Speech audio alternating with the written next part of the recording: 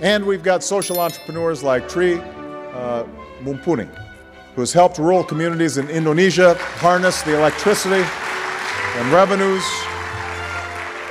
uh, of hydropower.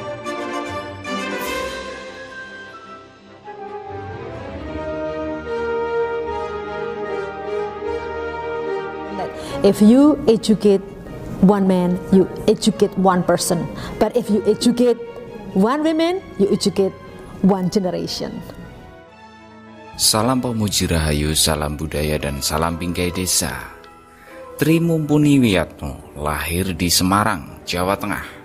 Beliau adalah pejuang pemberdaya listrik di lebih dari 61 desa terpencil di Indonesia. Perjuangannya mampu mengagumkan dunia dan mendapatkan penghargaan Ashton Award tahun 2012. Perempuan hebat ini adalah Direktur Institut Bisnis dan Ekonomi Kerakyatan atau dikenal IBK. Kebahagiaannya berjuang untuk masyarakat sudah tertanam sejak kelas 4 SD, di mana saat itu dia sudah ikut ibunya keliling ke kampung-kampung di Indonesia mengobati orang yang terkena penyakit. Dari pengalaman itulah ia mendapat pelajaran bahwa dalam proses hubungan sosial dengan masyarakat, uang itu bukanlah segala-galanya. Di usia muda, ia sudah terbiasa melihat dan membantu ibunya yang aktif dalam kegiatan sosial. Saat itu, cita-citanya menjadi dokter, bidang yang sama sekali bertolak belakang dengan apa yang ditekuninya sekarang.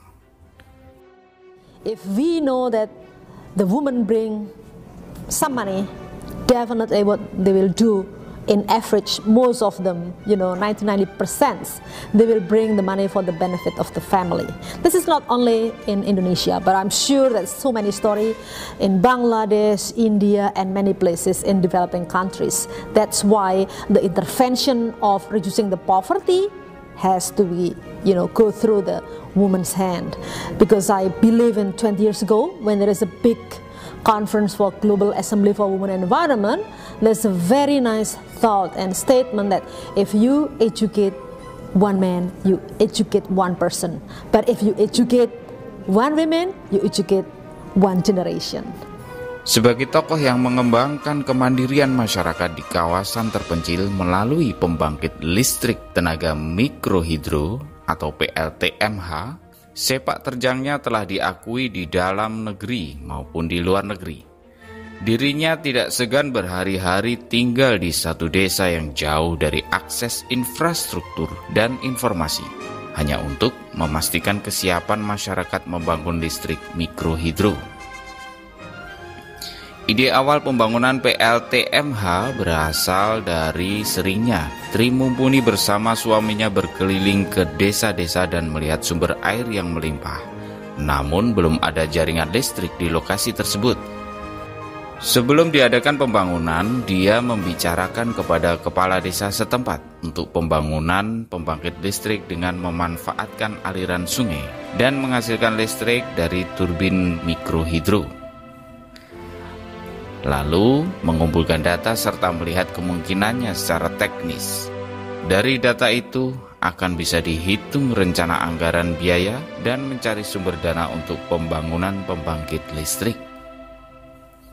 Bersama tim sosial IBK dan tokoh masyarakat, dia membangun komunikasi sosial dengan masyarakat agar terjalin hubungan yang baik serta menghindari kesalahpahaman pelaksanaan program Barulah kemudian masyarakat membentuk organisasi lokal yang akan mengurus turbin dengan menentukan ketua hingga operator mesin.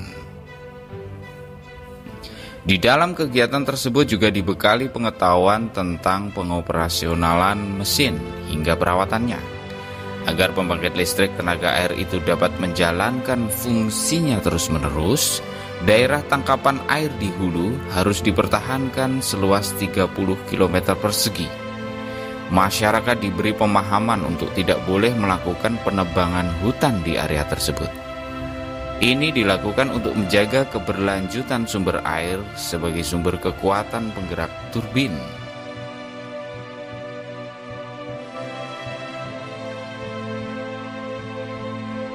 Yang terjadi sebetulnya akar masalah dari kemiskinan itu adalah masyarakat dipisahkan dari ya, sumber daya lokal. Jadi Indonesia bisa hebat dan kuat kalau desa itu betul-betul dibangun dengan cara yang benar. Desa itu punya sumber daya alam, ya. Desa itu punya semuanya.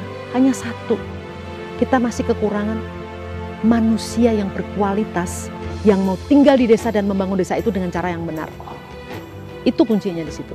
Dan pendidikan yang kita berikan buat orang-orang desa itu sebetulnya selama ini hanya memisahkan anak-anak itu untuk meninggalkan desanya. Karena desa nggak menjanjikan apa-apa. Tri Mumpuni pertama kali mengabdikan diri di bidang listrik pada tahun 1997, tepatnya di Dusun Palanggaran dan Cicemet, sebuah daerah di Gunung Halimun, Sukabumi, Jawa Barat. Beliau berhasil menerangi desa terpencil tersebut dengan listrik tahun 1997. Pada saat itu untuk mencapai lokasi harus berjalan kaki 9 jam atau naik motor yang rodanya harus diberi rantai sebab jalan setapaknya berlumpur. Kini pendapatan uang dari listrik bisa dipakai membangun jalan berbatu yang bisa dilalui kendaraan beroda empat dan membuka akses untuk bisa membantu 10 dusun lainnya. Selain memanfaatkan potensi energi air yang ada di wilayah setempat untuk mikrohidro, kegiatan lain pun dilakukan di daerah berbukit yang susah mengangkut air, juga dilakukan penyedotan air ke daerah yang lebih tinggi, sehingga kebutuhan air bersih pun tercukupi. Berkat jasanya kehidupan di 61 desa terpencil yang didampinginya perlahan berubah. Kemajuan mulai dirasakan masyarakat setempat. Dahulu sebelum ada listrik, penduduk di desa Kemanggih, Kabupaten Sumba Timur, Nusa Tenggara Timur, menghabiskan waktu 7 jam perjalanan untuk mengambil air bersih. Kini mereka memanfaatkan waktunya untuk menenun kain dan kemudian dampaknya bisa dimanfaatkan untuk menambah pendapatan keluarga. Di Indonesia maupun luar negeri, aktivitasnya semakin luas.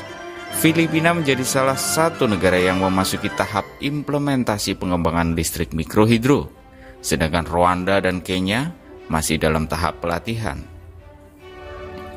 Tri Mumpuni, pejuang listrik bagi desa terpencil di Indonesia, yang berjuang membawa masyarakat mengejar ketertinggalan zaman. Hanya satu impiannya membawa masyarakat desa menikmati dunia yang lebih terang. Viva Indonesia, salam pamuji rahayu dan salam bingkai desa.